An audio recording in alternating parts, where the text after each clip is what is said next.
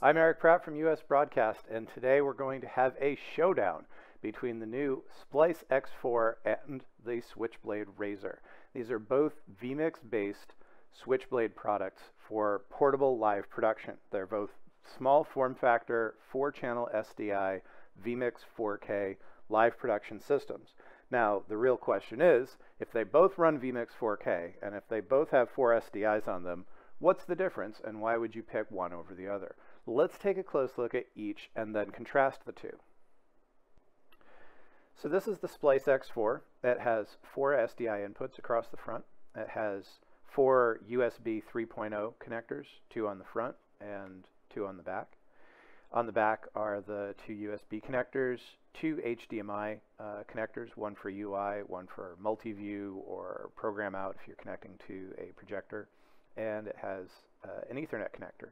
It's got a fairly small form factor. It's 4 inches by 4 inches, meaning that you can fit this just about anywhere. This makes a great backup switcher, or if you like to have portability, this makes possibly the most powerful 4 by 4 inch 4 channel SDI production switcher possible.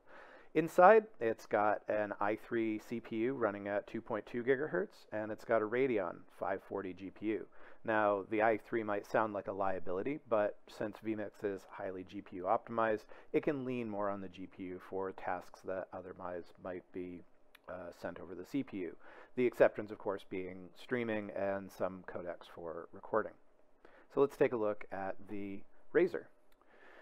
The Rayzor is a little bit bigger, um, though still quite small uh, on the scale of a computer. Uh, you can see it's about the size of my hand. Um, this is 8 inches by 6 inches by 3 inches, meaning it's still pretty small. Uh, you can still call it a book, though it's a very large book, uh, perhaps Dune or um, Watership Down. This uh, particular unit has four SDIs across the front, USB 3.0, USB-C, uh, it's got two USB 2.0s across the top. This is where I have my keyboard and mouse plugged in. And then on the back, we have these two wireless paddles. I'll fold those out of the way. So it's got external wireless, which means it has better range, um, Ethernet, and then this is the onboard uh, HDMI. Uh, we don't actually plug into that. This funny looking thing here is power, and then we have another two USBs uh, USB 3.1s. And then these three things over here are the monitors, HDMI display port, and then um, the mini display port. So those are the different connectors on this unit.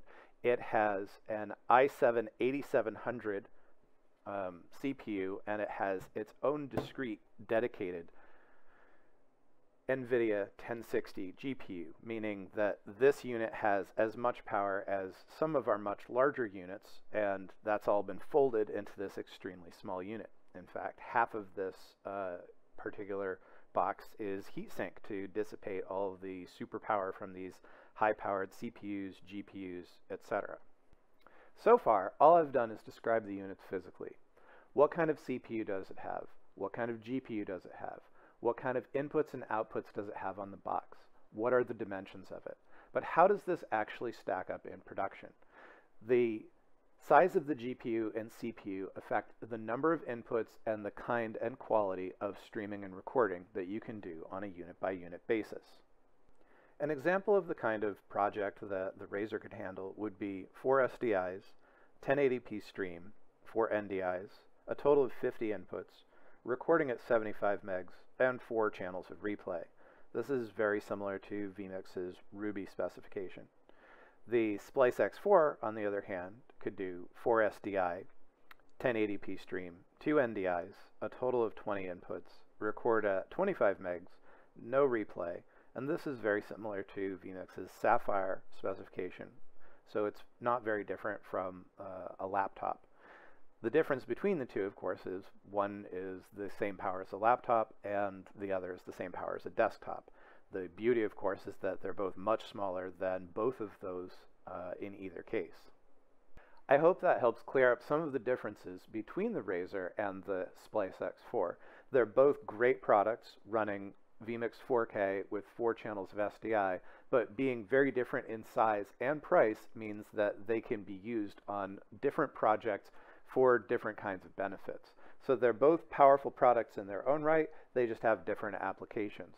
So if you have any questions on the Splyce or the Rayzor, please don't hesitate to reach out to us at US Broadcast. That's usbroadcast.co or to our Facebook page.